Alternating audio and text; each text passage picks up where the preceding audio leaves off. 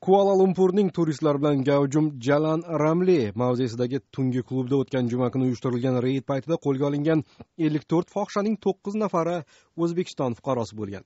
Bu haqda ozodlikka ma'lum qilgan kuala lumpur politsiyasi jinoyat qidiruv boshqarmasi boshlig'i datuk zayniddin ahmad fohishalarning aksari vyetnam fuqarolari va hatto bir nafari transseksual bo'lganini gapirib berdi.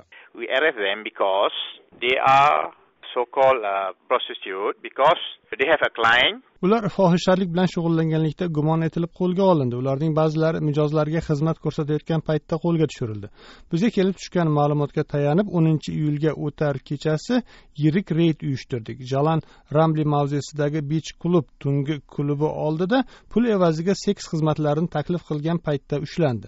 Reyd paytida jinoyat qidiruv boshqarmasi xodimlari restoranda mijoz sifatida o'tirishgan edi. Bu ayollar stollarning atrofida yurib o'z xizmatlarini taklif qildi. Seks xizmat taklif qilingan mijozlar orasida politsiyachilar ham bor edi. Hozir qo'lga olingan bu ayollar hibsda saqlanmoqda. Based on that we arrest them. For illegal prostitution deydi politsiya mulozimi? Zayniddin ahmadning ozodlikka aytishicha fohishalar o'z xizmatlarini sakson aqsh dollaridan ikki yuz ellik aqsh dollarigacha baholagan.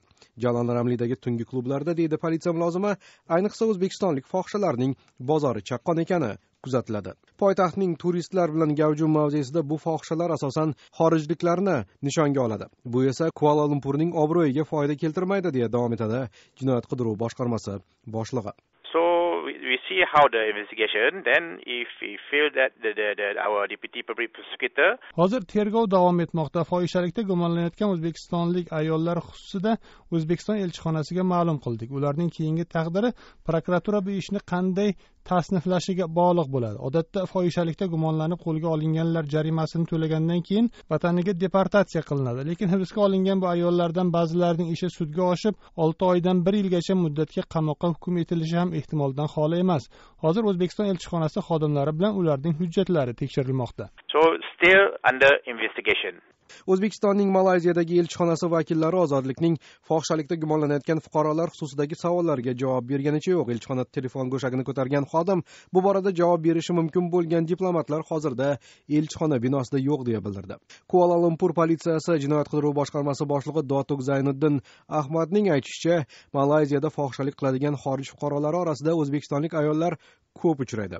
Ularning orasida odam savdosi qurboni bo'lganlar tanasini sotishga majburlanganlar uchrab turadi lekin o'tgan juma kuni qo'lga olinganlari o'z xohishiga ko'ra bu ish bilan shug'ullanib kelgan deydi politsiya mulozimi. Willing to i mean to become a prostitute they they are free they are, they are, they are freelance you know? Fohishalik bilan shug'ullangan o'zbek ayollari ko'p bu yerda masalan joriy yil boshidan beri men o'zim o'zbek fohishalari bilan bog'liq yigirmaga yaqin ishni ko'rdim. Jalan ramli mavzesida ushlangan fohishalarning barchasi bu ish bilan o'z xohishiga ko'ra shug'ullangan. Ularning hatto qo'shmachisi ham bo'lmagan. Bundaylarni biz frilans deb ataymiz. Ular istagan joyga borishlari mumkin. Hech kim ularni nazorat qilmaydi. No no pimps. Ah, no deydi kuala lumpur politsiyasi jinoyat qidiruv boshqarmasi boshlig'i dotuk zayniddin ahmad. Janubi sharqiy osiyo mintaqasidagi malayziya tailand indoneziya kabi mamlakatlar o'zbekistonlik fohishalar boradigan asosiy yo'nalishdir. Ko'pchiligi iqtisodiy qiyinchiliklar bois bu ish bilan shug'ullansada ular orasida odam savdosi qurbonlari ham ko'p uchrashini aytishadi. Bu sohani tadqiq qilgan mutaxassislar. Mart oyida nufuzli national geographic kanali tailandda o'zbek ayollarini fohishalikka majburlash bilan shug'ullanib keladigan to'da haqida bir soatlik maxsus reportajni namoyish qildi qarorgohi tailandda joylashgan va odam savdosiga qarshi kurashib keladigan freeland foundation tashkiloti mutaxassislari o'tkazgan tergovga asosan tayyorlangan yigirma birinchi asr seks qullari nomli hujjatli filmda tailandda fohishabozlikni nazorat qiladigan eng qudratli to'da o'zbeklardan tashkil topgani aytiladi One of the country's most notorious rings is run by Uzbeks. They lure women from their impoverished country with the promise of a legitimate job. Then they force them onto the street.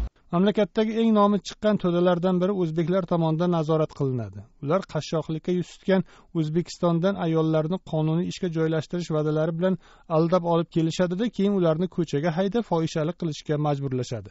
O'zbeklar to'dasi shunchalik qudratliki o'z biznesini bangkok markazida ochiqchasiga amalga oshiradi. The Uzbek ring is so well connected, it's able to conduct business openly in downtown Bangkok. Deya ta'kidlanadi. National geographic kanalida ko'rsatilgan filmda.